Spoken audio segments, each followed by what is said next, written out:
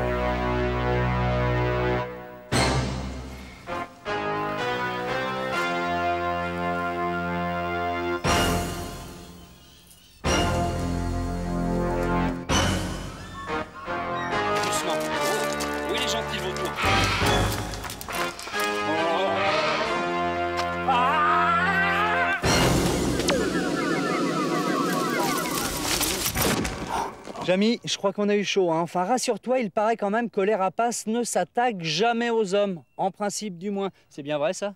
Les rapaces ne, ne s'attaquent pas à l'homme, mais l'homme s'attaque aux rapaces. Ouais, et l'homme s'est tellement attaqué aux rapaces qu'aujourd'hui, ces rapaces sont en voie de disparition. Alors ici, justement, à Rocamadour, on les protège et on leur permet de se reproduire sur ce site. Alors lui, vous le connaissez, c'est le vautour. Et lui, il s'appelle comment? C'est le Milan noir. Alors tous les deux font partie de cette grande famille des rapaces diurnes, c'est-à-dire qui vivent et qui chassent le jour. Et dans le monde, il y a plus de 250 espèces de rapaces diurnes. Et puis il y a aussi les rapaces nocturnes, vous les connaissez, ce sont les chouettes et les hiboux. En voici un hibou. Lui, c'est le grand-duc d'Amérique avec ses grands yeux jaunes. Allez, dis bonjour à Jamy. C'est ça, salut le grand-duc Alors, à quoi reconnaît-on un rapace? À trois choses. D'abord, à son bec, ensuite, aux griffes qu'ils ont au bout des pattes, on appelle ça des cerfs, et puis enfin, à leurs yeux.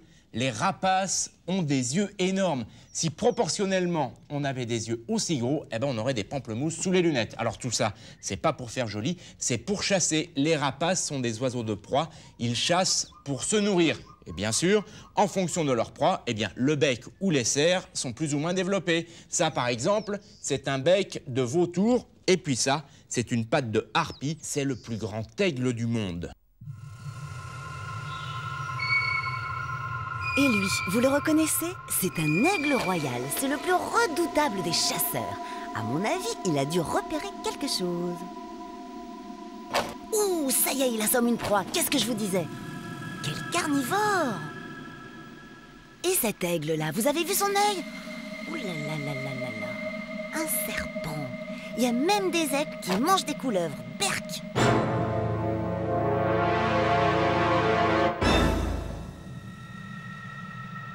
Waouh, superbe cet aigle impérial. Des comme celui-là, il n'y en a plus beaucoup. Il faut les protéger. Ouh, le petit lapin Attention, tu es surveillé. Attention, attention Ouh là là là là là là Ça y est, il l'a attrapé. Oh, oh là là, il en a de la force dans les pattes. Oh, le pauvre lapin. Lui, c'est un pigargue, un aigle pêcheur. Il aime bien le poisson. Et si celui-là a des lanières aux pattes, c'est parce qu'il vit en captivité à Rocamadour.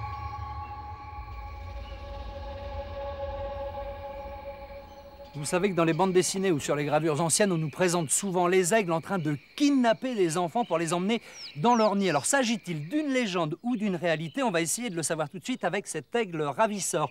On l'appelle comme ça non pas parce qu'il kidnappe les enfants, mais pourquoi? Parce qu'il prend les, les proies aux autres euh, rapaces. D'accord, alors lui, il pèse exactement 2 kg 450. Maintenant, on va voir combien il peut soulever.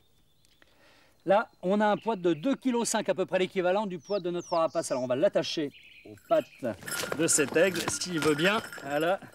Et on va voir s'il est capable de nous le soulever. C'est parti. Voyons voir. Allez, allez, allez, allez.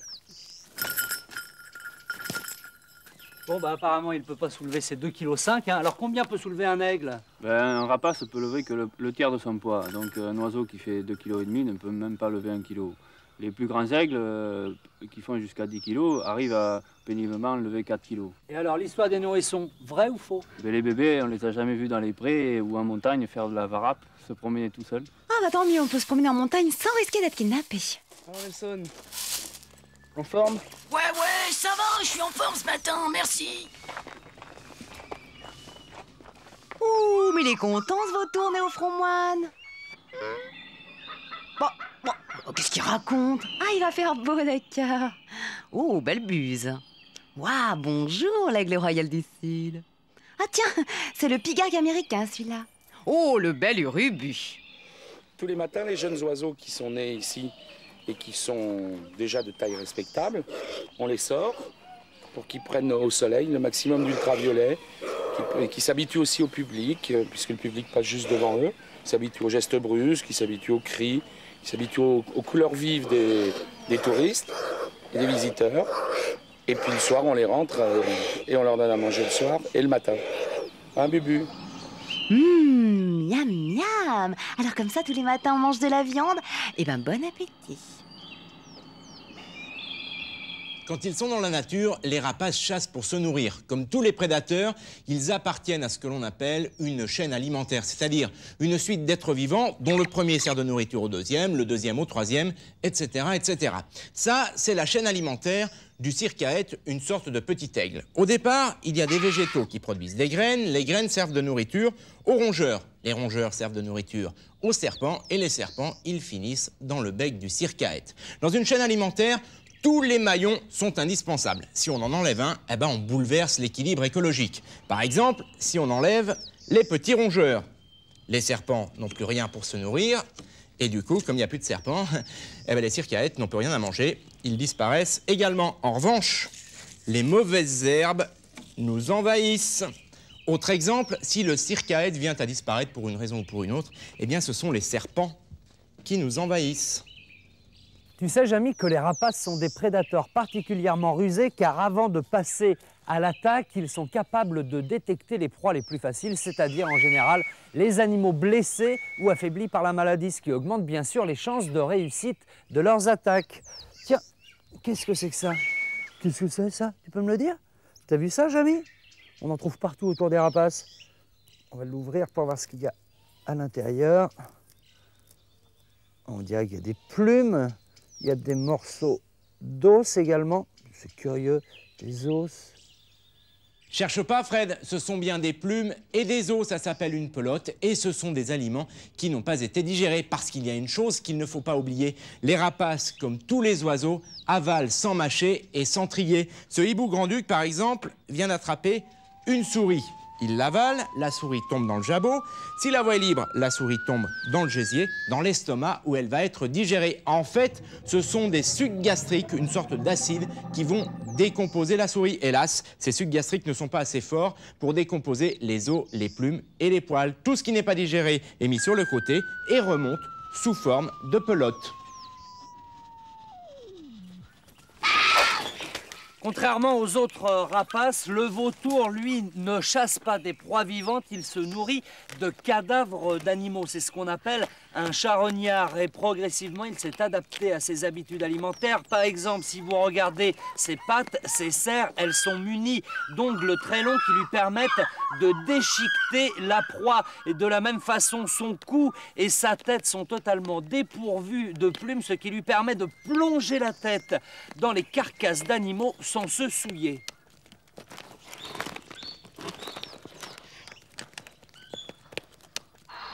Non, non, non, on n'est pas au pays de Lucky Luke, on est en France. Et oui, ici aussi il y a des vautours.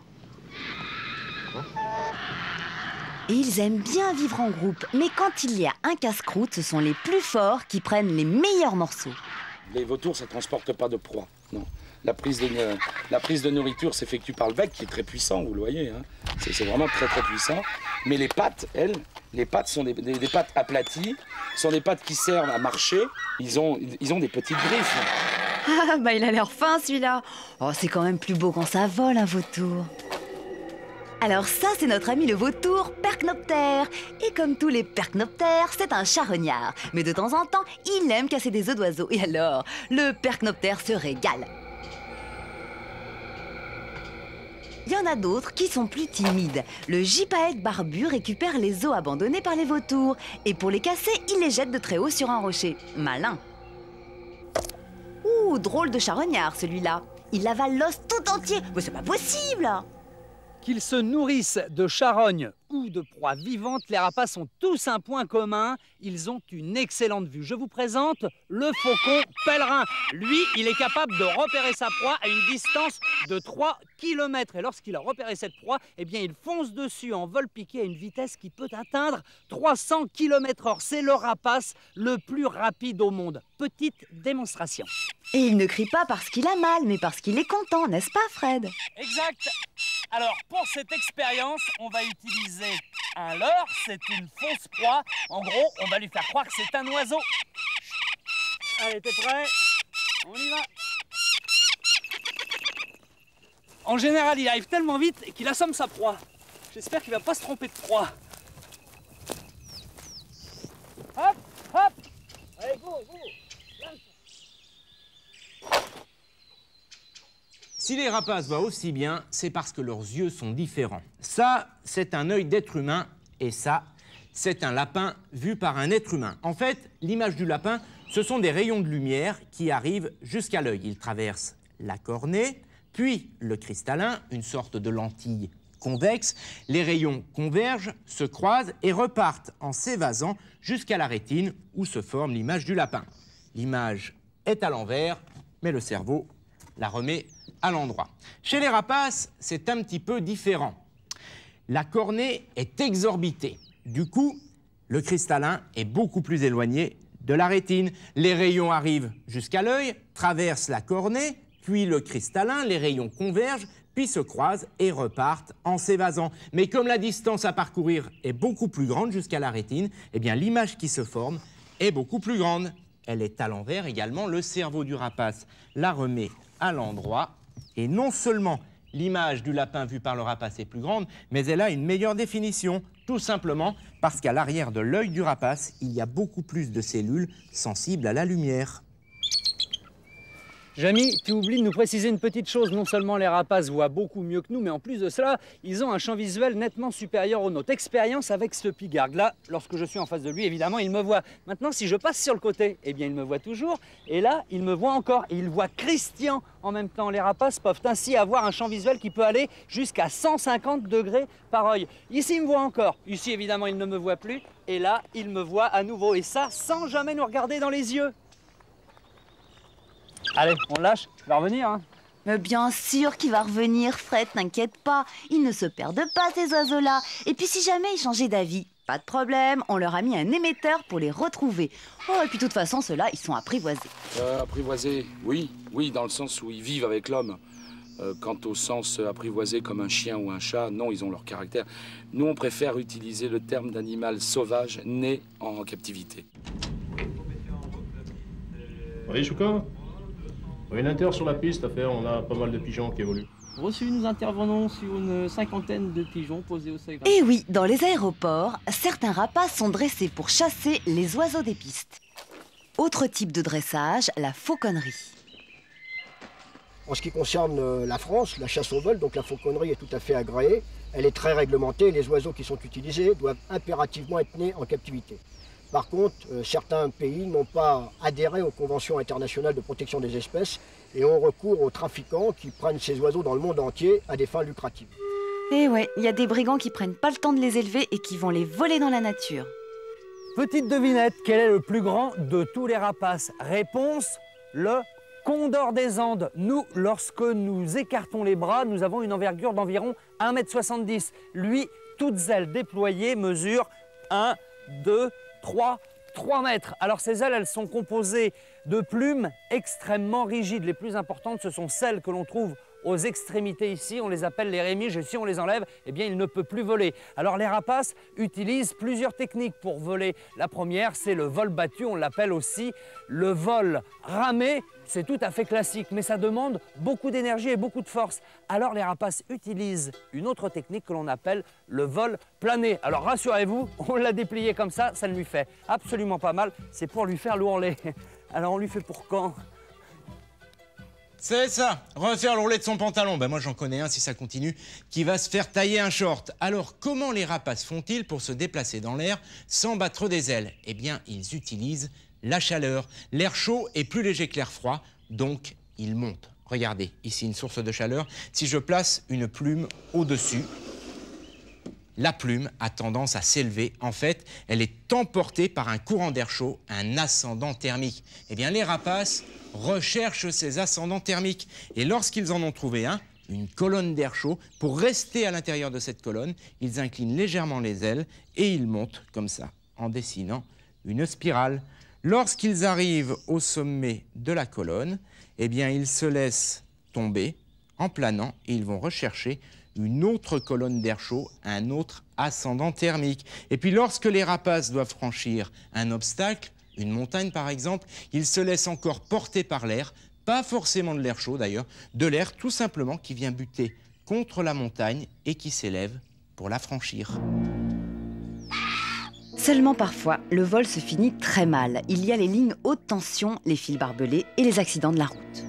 Une autre raison qui me paraît aussi importante, c'est l'utilisation euh, dans les années 50 du DDT, qui est un organochloré, un, produit euh, chimique et un véritable poison qui contribue euh, à rendre stériles les oiseaux et qui a été utilisé jusque dans les années 70.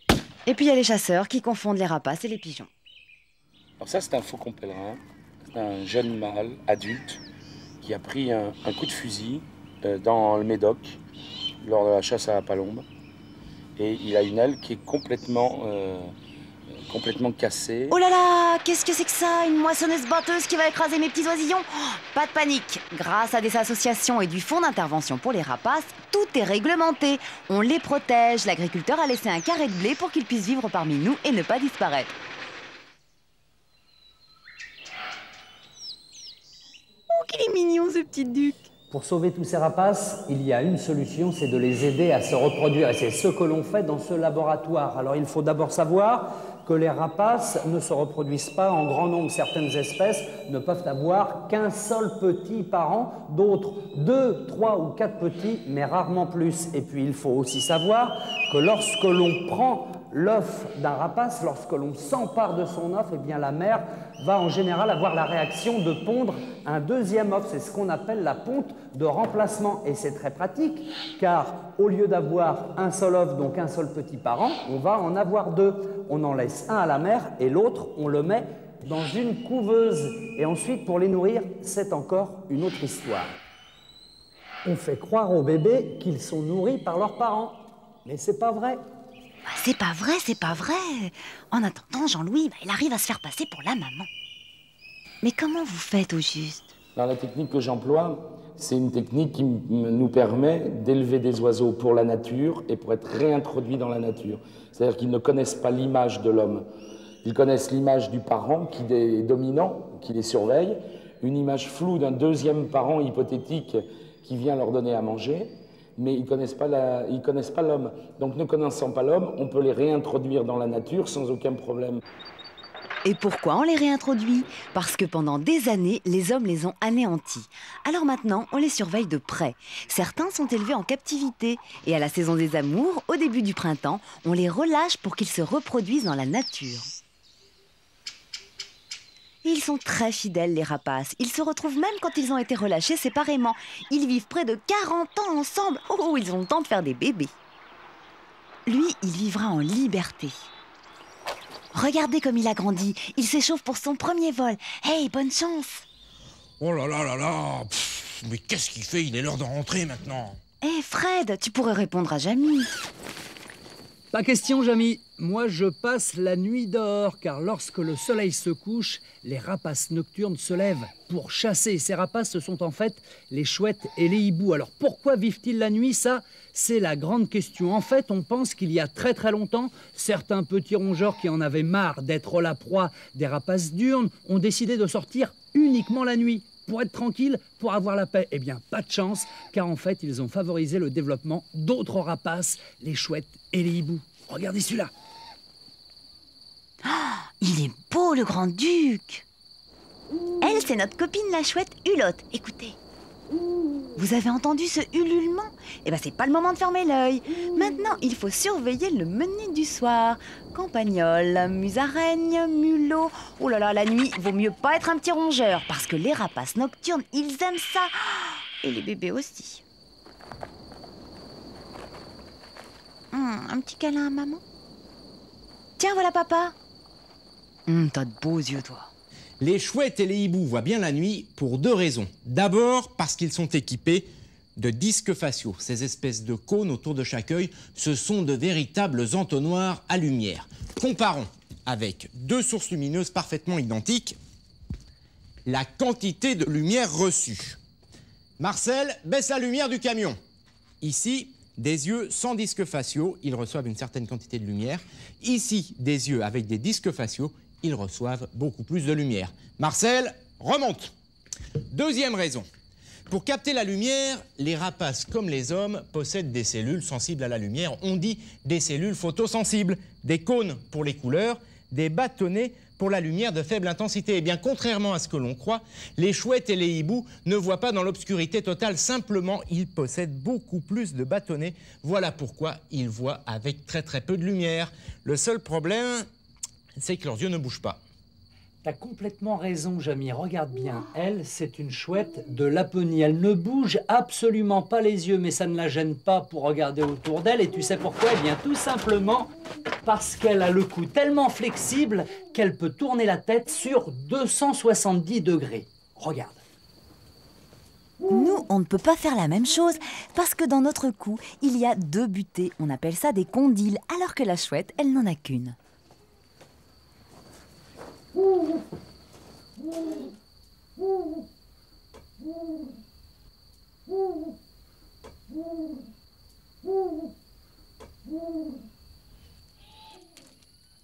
Et dis donc, Jamy, tu connais toi la différence entre une chouette et un hibou? Non, je sais pas. Eh bien, c'est très simple. Les hiboux ont des aigrettes, alors que les chouettes n'en ont pas. Les aigrettes, ce sont ces petites plumes qui sont sur la tête de chaque côté. Attention, ce ne sont pas les oreilles. Les oreilles, elles, sont dissimulées derrière le disque facial, ici. On va essayer de les voir. Je voir. Fais voir Georges, il s'appelle Georges. Hein, pas facile, hein, hein Fais voir tes oreilles. Voilà. Et c'est très important les oreilles pour les rapaces nocturnes. C'est ce qui leur permet de localiser précisément leur proie. Grâce d'abord aux disques faciaux qui servent également d'entonnoir à son un petit peu comme des cornets acoustiques. Ce sont des amplificateurs. Ensuite, grâce au positionnement de leurs oreilles, il y a une oreille à gauche, une oreille à droite, ce qui leur permet de savoir si un bruit vient de la gauche ou de la droite, comme nous. Mais les rapaces nocturnes ont quelque chose en plus. Les oreilles ne sont pas à la même hauteur. Il y en a une qui est légèrement au-dessus de l'œil et inclinée vers le bas, et l'autre qui est légèrement au-dessous de l'œil et inclinée vers le haut. Grâce à ça, elles peuvent localiser un bruit sur le plan vertical. Alors je sais, nous aussi, on peut savoir si un bruit vient du haut ou du bas, mais les rapaces nocturnes sont trois fois plus précis que nous. Tiens, une chouette effraie. Oh, Qu'est-ce qu'elle a bien pu entendre Les proies, elles, ne risquent pas de l'entendre parce que les rapaces nocturnes ont un vol silencieux. Ils ont les plumes plus souples que les rapaces diurnes. Oh, c'est quoi ça? C'est une photo ou ils dorment vraiment? Ah bah celle-là, elle a l'air bien réveillée. C'est une chouette harfant. Savez-vous que les rapaces dorment par petits bouts de 30 secondes la nuit comme le jour? Je me demande qui regarde comme ça, ces hiboux. Coucou, hibou grand-duc, qu'est-ce que tu observes? C'est moi que tu regardes comme ça Mais qu'est-ce qu'il fait? C'est l'heure de rentrer maintenant. Il est où? Oh. Mais, mais qu'est-ce qu'il fait dans la cabane aux rapaces Oh là là, mais t'as l'air chouette, mon vieux. Allez, tu rentres au camion, on retourne à Paris, parce qu'à Paris aussi, il y en a des rapaces. À Paris? Si, si. Et oui, il y a aussi des faucons cresserelles à Paris, ceux qui adorent faire du vol sur place. Et ça, c'est une souris ou un rat? Bah, bah alors, madame, on s'est installé à Notre-Dame. Oui, mais les faucons sont malins. Ils ont remarqué qu'à Paris, il y a aussi des petits rongeurs. Quel luxe, vraiment, habiter au Sacré-Cœur, tranquille. Entre deux brunchs, on va se faire un petit plongeon du côté de la Tour Eiffel. Très chic. Bon alors, vous bougez pas d'ici, vous m'attendez, hein. Ah bah, c'est pas trop tôt. Mais il a fallu que je les réunisse parce qu'on en ramène avec nous. On ramène Georges. Georges? Ouais, le grand-duc. Il veut ramener le grand-duc? Ouais, et puis on ramène aussi Nelson le vautour. Il veut ramener un vautour. Il est sympa le vautour. Eh, viens voir aussi. On va ramener Victor. Un Milan noir Ouais, le Milan noir Eh ben moi, je rentre. Moi, je avec. Marcel. Et nous, c'est Lola. Elle est mignonne, c'est une chouette